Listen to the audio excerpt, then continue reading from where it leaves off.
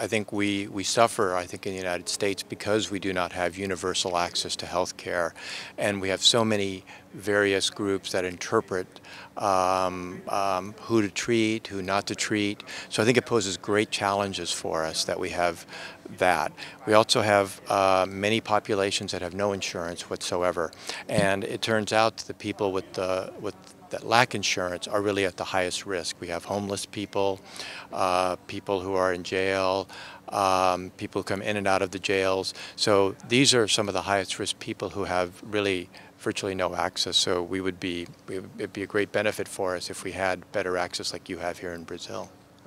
So what we're having in the United States, and it really started with the Great Recession in 2007, 2008, and this epidemic that we have now in the United States is among rural white people primarily, people with low education levels, and it started because of these, they've been actually um, started on uh, prescription opioids and then graduated to injection drugs. So it's a different kind of epidemiology for this uh, new um, outbreak we're having, but it's seen a lot in rural areas in Appalachia, which are mountains where, where many poor people frankly live. So it's about poverty, it's about rural, it's about white young people primarily, and it's a new problem that we're trying to face.